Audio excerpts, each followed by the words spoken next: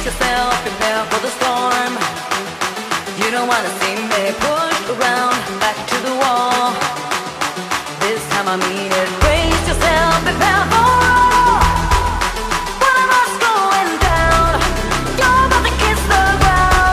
Triple A.